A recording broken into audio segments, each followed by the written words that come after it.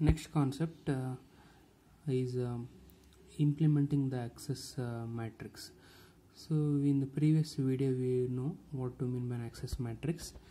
It is a combination of domains uh, and uh, the objects. Okay domains are placed in the uh, rows like this and uh, objects are placed at the columns like this. So that will be considered as an access matrix. Now how do you implement actually this access matrix in a system is uh, by using following methods so this is the first method that is called global table method. In global table method so uh, it will be containing certain uh, tuples like rows. Okay? Now the tuples will be in this particular order. It will be containing the domain information.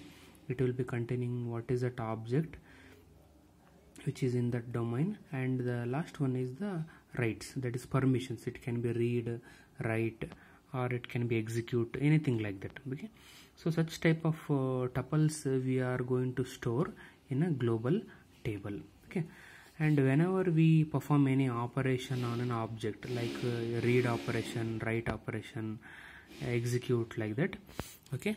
So the global in the global table we are going to search that one whether uh, that particular object has this uh, right permission or not okay so if that permission or that particular tuple itself is not present then uh, we are not going to allow any process to perform that uh, operation on the object. Otherwise we can allow the process to perform uh, operation on that particular object. So that's what the global table says but what is the drawback in this global table ಅಂತಂತಂದ್ರೆ so maintaining these informations will be very much costly okay as they consume lot of amount of memory as we are storing this in global global table in main memory the memory consumption will be very much higher so that's what uh, drawback so the next uh, method of implementing uh, access matrix is uh, maintaining the list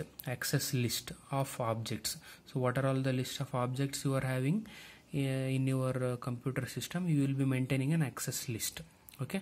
So what is that object? Okay? And what is the type of access you are going to perform on that particular object? Okay? So and uh, who uh, which domain or which process has to access that particular object?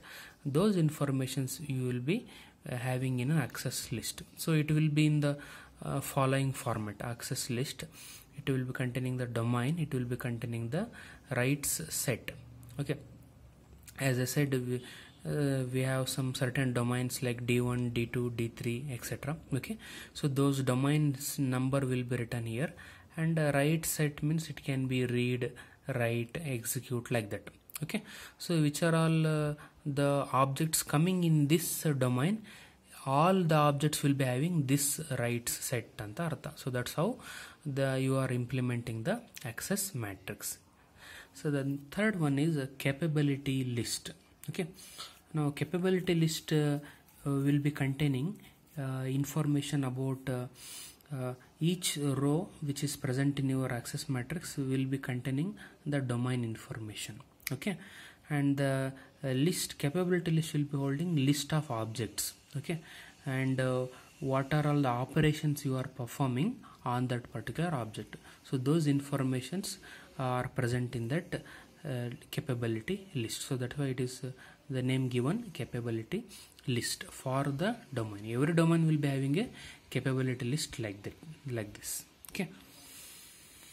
And uh, the last uh, method of implementing uh, access uh, uh, matrix is uh, lock key mechanism so lock key mechanism here we will be having a unique bit pattern for each and every object which you uh, represent in an access matrix okay so these uh, bit patterns we normally call them as locks ಅಂತ ಕರಿತೀವಿ okay and each domain will be having uh, a list of objects and a list of bit patterns so every time when you perform uh, any operation uh, on these uh, particular objects so this bit pattern will be examined okay? So the, the those are called as keys and the so if these bit patterns are matching then only the users are allowed to, to do any operation on that object or over the object. Otherwise you are not allowed to do any operation on that object okay?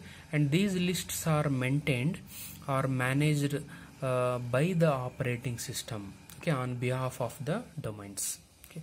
So those are the major important uh, steps in implementing the access matrix